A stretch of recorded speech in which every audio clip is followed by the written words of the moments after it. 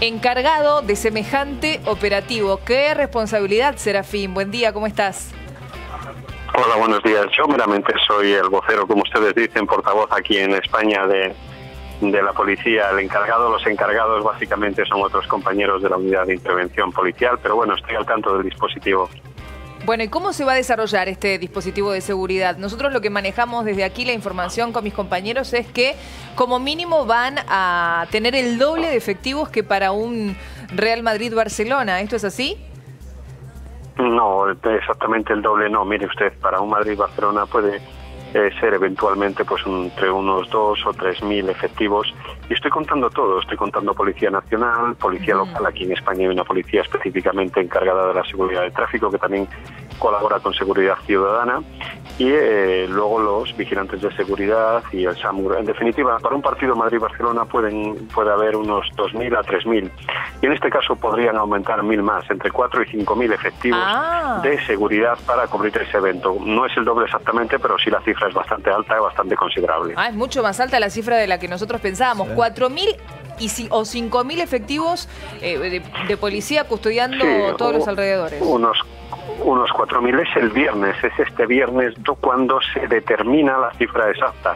Yo le estoy hablando del histórico, o sea, de lo que viene a ser una planificación que hemos venido teniendo hasta ahora, más o menos un evento de similares características, más o menos en torno a los 4.000 efectivos, eh, más o menos son los que eh, tenemos para cubrir este tipo de eventualidades.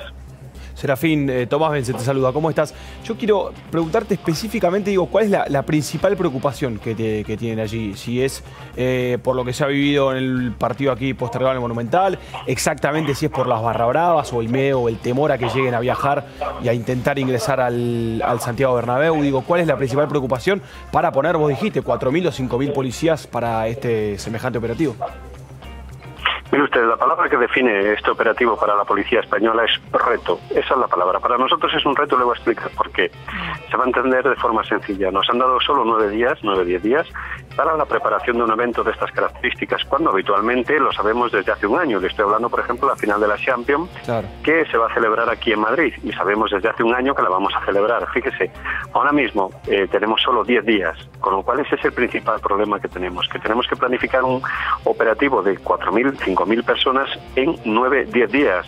Y eh, además eh, con el añadido de que eh, existe en España, bueno, el tema de la Constitución, celebramos el 40 aniversario de la Constitución española y también esos eventos, para cubrir ese aniversario, las fiestas y los festejos de la Constitución española, consumen mucha seguridad con lo cual es, es un imprevisto el que nos han surgido con la celebración de este partido. Es un honor para nosotros eh, celebrarlo, es un honor para nosotros, para la policía española, asistir a este partido, dar seguridad a este partido, pero desde luego lo que sí tenemos es un reto y el tiempo, el factor tiempo es nuestro principal problema. Serafín, lo estábamos escuchando atentamente y nos quedamos todos sorprendidos. Usted nos cuenta entonces, para pasar en limpio, que para la final de la Champions se preparan un año antes y ahora le están avisando a ustedes con nueve días solamente de anticipación. ¿Con cuánto preparan eh, un Real Madrid-Barcelona? Con un mes de antelación, porque fíjese, lo principal ya no es preparar solo en sí el dispositivo policial, sino eliminar otros problemas que nos pueden surgir en esa fecha. Y en Madrid-Barcelona coincide con eh, la celebración de una fiesta, como es el caso este, pues ya dispondríamos otro dispositivo, pero es que ahora no teníamos tiempo para estas eventualidades. O sea, con un mes de antelación mínimo necesitamos para planificar un evento de estas características. Usted fíjese que puede mover hasta 100.000 personas, 80, 70, 80.000 personas que tenemos que graduar, que tenemos que dar seguridad. Y entonces necesitamos como mínimo un mes para planificar una eventualidad de este tipo, porque no solo es la planificarlo, sino que además hay que desplazar policías a Madrid. Hay que coordinar con otras policías, hay que solicitar información a la policía argentina, a las autoridades argentinas que nos tienen que dar información de la gente que viaja, cómo y cuándo. Tienen que venir policías argentinos, eh, un mínimo, una mínima cantidad, no para ejecutar tareas operativas, pero sí informativas. ¿Saben cuántos van a en viajar? definitiva, son muchos los factores. ¿Saben ¿Cómo? cuántos policías argentinos son los que van a viajar desde aquí? ¿Les informaron eso? No, no nos han informado, pero yo le puedo decir por el histórico también, estoy hablando de la de historia de otros partidos. Aquí en España, como sabe, somos un país también futbolístico igual que Argentina, Sí. pueden viajar entre dos y, y diez policías. Serafín, ¿cómo le va Pablo Lisoto aquí? Le consulto, ¿en algún momento la Conmebol cuando decidió que sea en Madrid, habló antes con ustedes o directamente decidió que el escenario era el Santiago Bernabéu y después, bueno, que se arreglen ustedes? Mire, si con ustedes se refiere a nosotros la policía, no, realmente a nosotros poco se nos consulta en este aspecto, es decir, a nosotros sencillamente somos ejecutores de, planes de políticos. En definitiva, nosotros se nos dice, mira, para tal fecha se celebra este partido, tenéis que arreglarlo para salvaguardar la integridad de las personas que participan en él y dar seguridad. Nosotros no se nos, no se nos consultan ese tipo de decisiones. Son más decisiones que pertenecen al ámbito político que no al administrativo ejecutor como somos la Policía Nacional. Serafín, eh, yo quiero consultarle a ver si usted nos puede contestar o nos puede dar una aproximación. Eh, ¿Cuánto cuesta un operativo de 4.000, 5.000 policías? Digo, ¿cuánto...? Porque el operativo va a estar a cargo de, Conmebol y, el alquiler del estadio también, pero digo, eh, ¿qué cifra se maneja por un operativo de tantos policías?